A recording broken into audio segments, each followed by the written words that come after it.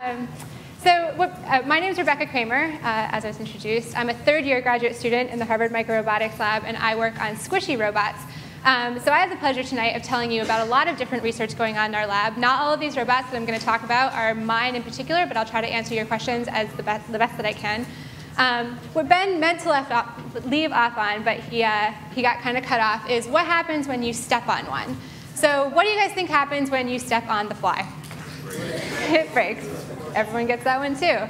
Um, so we're engineers, and we try to come up with ways to solve every problem. So we thought, hey, wouldn't it be cool if we could make a robot that didn't break when you stepped on it? So here you can see a computer animation of kind of a blob type robot that we've thought up. And there's a foot stepping on it, and it's squishing, and it's not breaking, and that's great. But let's take this one step further. What if we could make a squishy robot that won't break when you step on it and can change shape? So say we have a robot that looks like this. In the presentation we just saw with Ben, he talked about Asimo, the, uh, the kind of three-foot robot that kind of awkwardly walks around. And he talked about how it can't go through doors because it's too clumsy to open the door and it can't fit under the door. But insects are small enough to crawl under the crack in the door. Well, what if we had a squishy robot that, like this, but it's too big to fit under the crack in the door? But what if it could squish and change its shape and squeeze under the crack in the door? That would be great. That would be cool. What if we had a robot that looks like this, kind of a spider-looking robot, and it gets to a really small hole in the wall? Well, then maybe it can elongate its body and stretch and squeeze through the really small hole in the wall. Well, that's all great and dandy. We have all these great robot concepts that we really want to build and that we're really excited about. But how do we actually make them squirm and squish and twist and bend like what we've just seen? This is a little bit harder to do. So just like Ben was talking about how we look to real flies to design robotic flies, we can look to nature to try to design squishy robots. So can you guys think of anything that's squishy and moves? I heard someone say worm. Worm. Snails. Snail's a good one.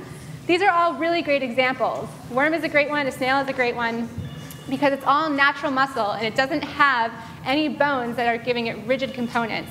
So our muscle is actually really squishy and it moves. It's hard for us to think of our muscle as squishy because it's attached to our bones, but it's actually really great. And a better way to think about it might be, say, an elephant trunk, where we can see an all-natural muscle system and it's twisting around and squirming and it's, uh, it's an all-compliant system, all squishy system. It doesn't have any bones that are holding it back. And my favorite example is actually an octopus. Now, I apologize for the quality of this video because it's not very good, but it proves a great point. Here we have an octopus caught in a box, and it's a pretty big octopus, and there's a one inch diameter hole. Now, I don't know if you guys realize how small one inch is. It's like this big. And this huge, huge octopus is going to squeeze its entire body through this one inch hole. And I don't know if you could see how big its head is, but it's much, much bigger than that hole. And because it doesn't have any rigid parts, no bones, it's able to squeeze itself all the way through this really, really tiny space. So this is awesome. This is exactly what we want to do. Yeah. Hooray. I didn't, I didn't build that. I'm sorry. I didn't do it. I want to. So how do we actually make a robot squishy? Well, we've got to start with a squishy material.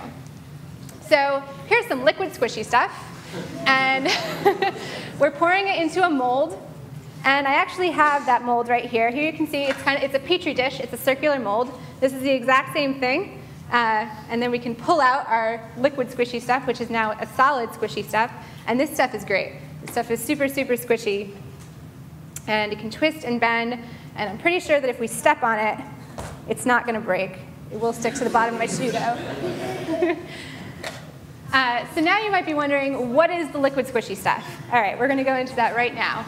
So we use two kinds of liquid swishy stuff, uh, one called PDMS and another called EcoFlex. They're both types of silicon rubber, and you can get a whole range of silicon rubbers. There's a bunch of them, and they vary in optical properties, and they vary in stiffnesses. These are just the two that we happen to use the most in our lab. In this particular picture, you're looking at EcoFlex. Uh, you can tell because it's kind of a washed out, not translucent stuff. Uh, and it, the way it works is it comes as a liquid in two parts, just like epoxy. So you have a base agent and a curing agent. And when you mix them together, you only have a certain amount of time before they start to become a solid and into a mold that you choose. You know, in this case, we used a petri dish. So we mix, in the case of EcoFlex, you have a couple minutes to pour it into a mold before it starts to turn solid. In the case of PDMS, you have a few hours. And like I said, there's a whole bunch of silicon rubbers, and this ranges throughout them. So just so you have an idea of what else EcoFlex can be used for, this is often used to make fake body parts in movies. Uh, this is actually an arm made entirely of EcoFlex in an arm mold, and it was used in the movie Harry Potter. I don't know if you guys all remember, there was a section where some sort of spell was cast, and Harry lost all the bones in his arm, and he's freaking out. And uh, this is actually what they used in the movie. They used an EcoFlex arm. So this is used in the movies all the time. We use it to make squishy robots. So here you can see our first squishy robot of the day. Uh, this is a robot made of EcoFlex, like we just heard about, and it has different compartments that fill up with air, just like balloons. So these wires are delivering and taking out air. And so by forcing different parts of the robot to fill up with air, here, we'll watch it one more time. By forcing different parts of the robot to fill up with air, it can kind of roll itself across the floor. Like I said, just like balloons. And so just like we have the problem with power on the fly, we have the problem that we can't, you know, put in air in and out without these wires, so it's still attached to something. So now we're going to move on to another type of squishy robot. And this is actually Mike Petralia's work, and he's our third speaker today. So you might hear a little bit more about it later. Uh, but it is based on a concept of a dielectric elastomer actuator. Now that's a mouthful, so I'm going to break it down for you. An actuator is just a fancy word for muscle, something that moves. An elastomer is just rubber. And a dielectric is something that does not conduct, so something that doesn't let electricity go through it. So all we're looking at now is a rubber that doesn't conduct, that moves. And this is kind of the basic concept of what it looks like. The best way I can explain this is as a peanut butter and jelly sandwich. It's my favorite way to explain a dielectric elastomer actuator.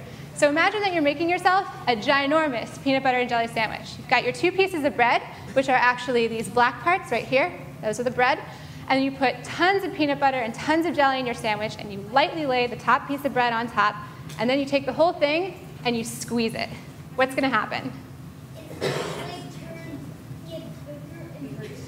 Exactly. It's going to get bigger and bigger. Uh, the peanut butter and jelly is going to come out the sides, and it's going to get a lot wider and a lot shorter. And that's exactly how a dielectric elastomer actuator works. There's an elastomer in the middle, which is the peanut butter and the jelly, and there are electrodes, they're called electrodes, those black things, and that's the bread.